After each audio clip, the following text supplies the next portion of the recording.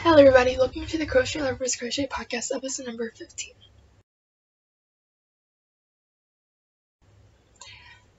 So before I do say anything, thank you so much Ella from the No Catchy Name for giving me that little shadow. I know it doesn't seem like a lot, but really it is, and I want to say thank you again, even though I commented on her video, so thank you. Um, so I have a little odd combination going on over here. I'm cover- recovering from a little bit of a head cold, as well as um, the little bit of losing my voice, which has gone on with that. So that's why I sound a little bit weird today. so I'm just gonna get that out of the way. so also I am trying a new setup and hopefully this one is better. And I did get a comment last time about the lighting, which I didn't realize was a problem until now. So thank you for that comment. And hopefully the lighting is a little bit better. So the first item I'm going to show you guys is the temperature blanket. And now I can fully go on and show you the temperature blanket. So we started row 4 so here we go.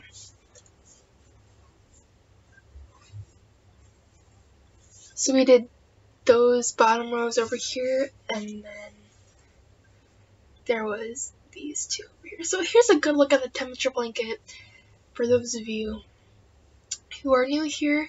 We are, I am doing a temperature blanket this year for 2019, and uh, I did think it was a good idea to start one this year just because I tried doing one last year and then it's just I started too late. And I got I started on like the 20th of January and I just overwhelmed myself. And then another good reason for that I think it's a good idea to do this year is because the weather is going crazy and I think it's really cool just to look at it. So you can see how many whites we have which is negative which is zero or below. So, and it's getting bigger by the day, literally, and it's so cool just to see it grow.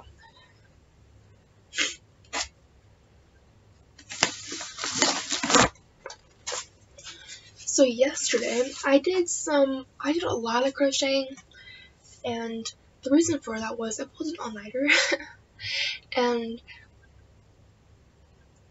so I can't, during the night when I was supposed to be sleeping, I was up crocheting, and when I was supposed to be awake, I was asleep.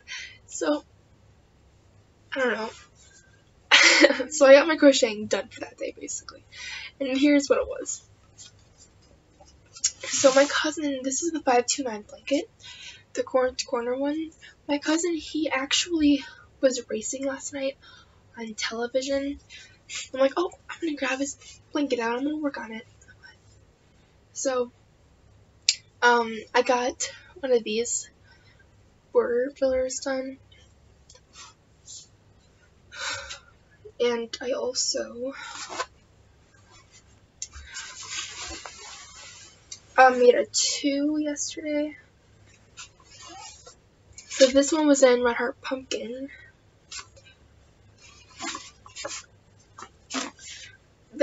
Two what is in Red Heart Flame, and then the black was in Craft Smart Black. So here's the blanket. I made this yesterday, so I don't know. I mean, the camera shows it uh, backwards, but I don't think it's going backwards from what I know. So a bit two is like that. So number sign 5, 2. And the next one is going to be a 9 right here. So then I have also have to um, make more of these. I'm going to call these filler squares. I have to make more of these filler squares and then attach them over here. And then I think I'm going to have like the repeat going on over here and then over there too. And since this is a blanket, I'm going to make a big border for it. Or I can just keep on attaching these. Uh, it just depends on what happens. So there we go. Here's the back of it, in case you're wondering. so, I did that yesterday. I actually got the two, I didn't get the two done yesterday, but I did get the two done on Friday. I am on a little bit of a break vacation from school.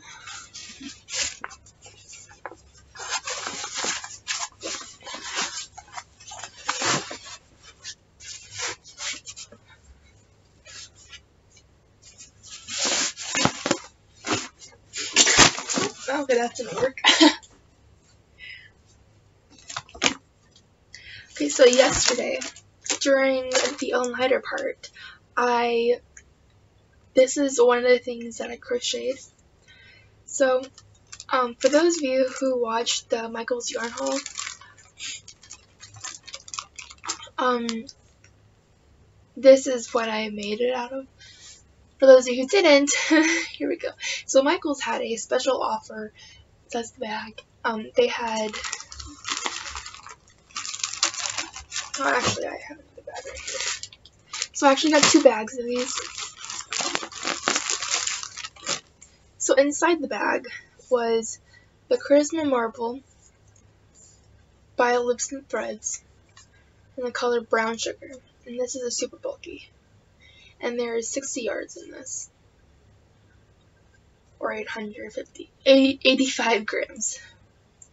So each bag came with three of these. And I was I didn't know what I was gonna make with this, but I'm like, okay, I'm going to let's get to them. And these are for five dollars each. And these what I thought was a really good deal. And from what from what I know, yeah, it's a good deal. So what I made yesterday was this neck scarf. And this took two of the um, charisma marbles. So here's the two labels I.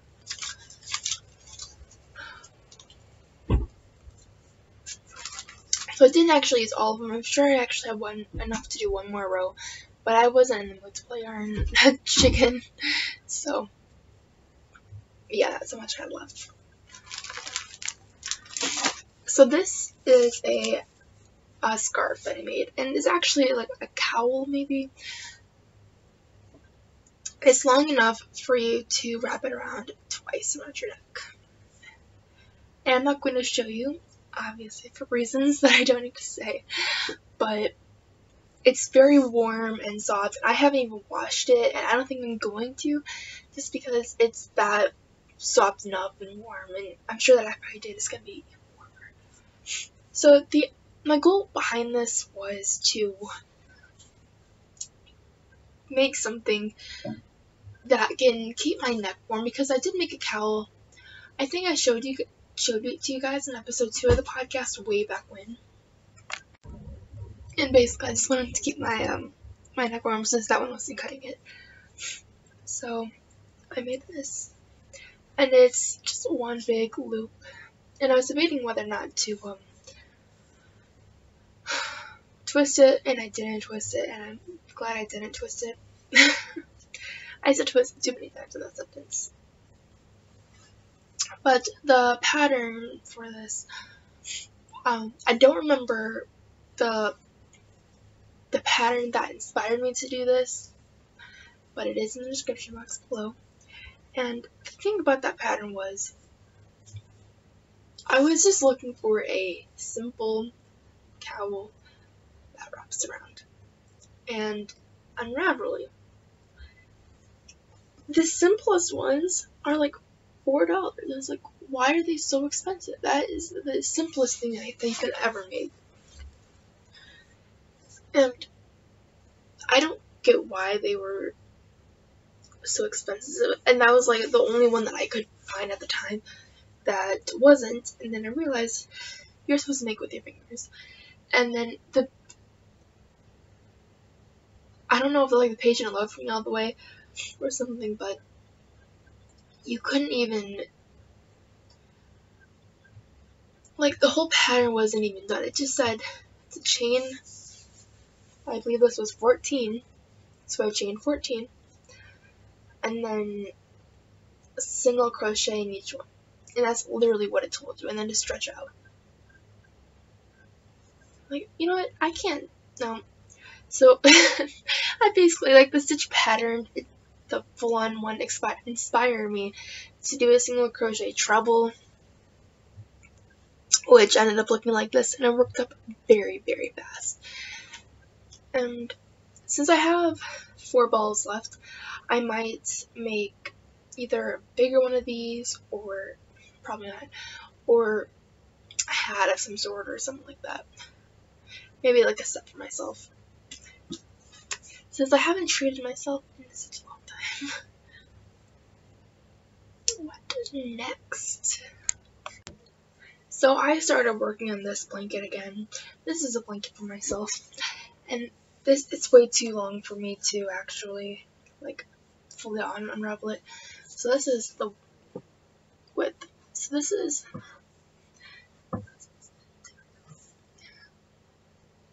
Okay, so purple is two skeins of Red Heart, nope, Craft Smart in the color purple, and the blue up here is two is is going to be two skeins of Craft Smart in the color turquoise. And then I don't know if it's white next or black next or white next or pink next. Basically the colors I have for this blanket are purple, blue, pink, white, black. I think it's purple, blue, white, pink, black. Because I remember I didn't want white at the end. Because that was a no. but I did, I made, crocheted a couple rows while I was finishing, while I was uh, finishing off a show on Netflix. I was watching Sick Note and I finished that. And I was also, um, while I was working on the March square as well, which I'll show you soon, I, um, what was I gonna say? I was watching alien documentaries as well like, hmm, this is really interesting because I was crocheting things that I do.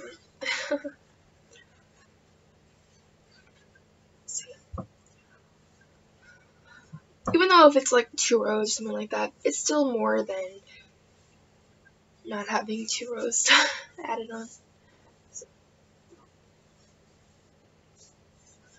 there is that.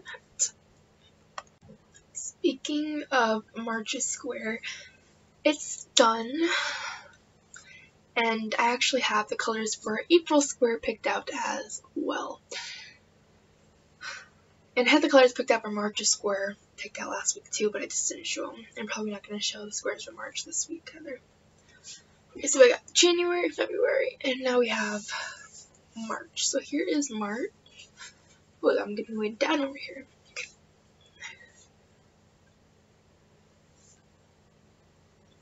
And yes, you are seeing that right. This is an uneven square. I don't know what happened. Here comes. So, when I crocheted the February square, I went from a 6 millimeter to a 5.5. I'm like, okay, that's probably why the stitches are changed. And now that I made a 5.5 square again, why is this just now working out? Because, like, this side over here is, like, full-on lopsided. And then this over here is, like, I don't know what happened over here. Because I didn't even stitch that on right. This is a very wonky blanket. and this is for myself, so. Or like for my family. So. I guess it doesn't really matter that I stitched them on like that softly. And that they're so wonky, wonk-sided. Or maybe I just added an extra increase row and I got distracted from the alien show. Hmm, I I guess I'll never know. Okay, so next next square is a bunny. And so I got the colors picked out for that. So the background is going to be yellow. It's going to be a gray bunny with a light blue bow. And it's going to have the pink ears. And those are the color choices.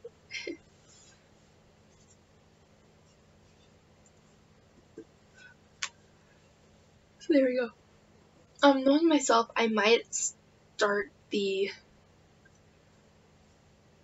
the head of the bunny sometime this tonight or something like that because I'm bored and want to get a head start. Even though I'm fully on the head, I'm a month ahead.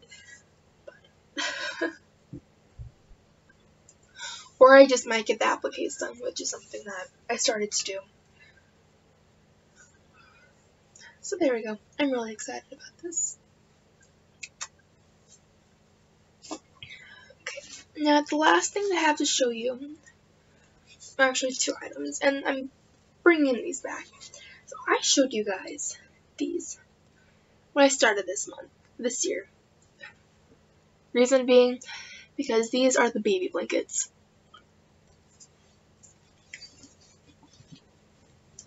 So it finally just hit me that these blankets are never going to get to the person that requested them.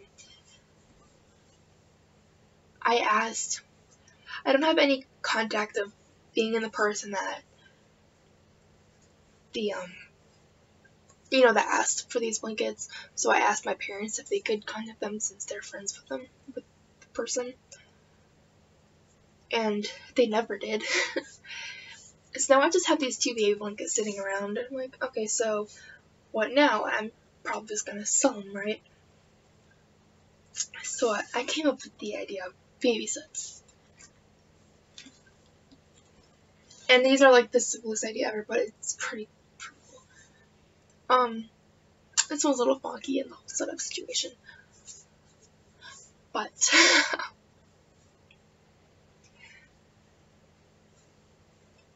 so I actually came up with this idea a while ago, but it was just gonna be for myself. So like for my future self, I was gonna have a baby blanket made, a hat made, some booties, clothes, like all that made, and like tucked away, and then surprise, for yourself, here you go.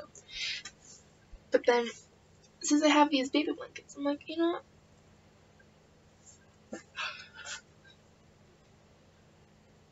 I like so I'm probably just going to find a way to sell these and then call these baby sets. So I made these two little hats over here. Um, so I tried making these baby sizes, but, you know, I didn't want to make them preemie sizes either. So they, I made them a little bit big, but then they can always grow into them as well. And I finished off with the two row white ribbing for each hat. And I made them out of the color of the blanket, that way they match.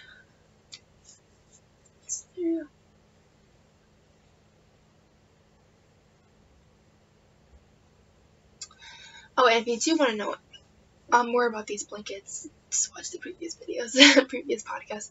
I'll tell you all about them. I think this is like all freaky. I don't know what happened here. Oh well. I'll freeze stream that. thank you for watching the podcast and I will talk to you guys next week. See you guys next podcast. Bye.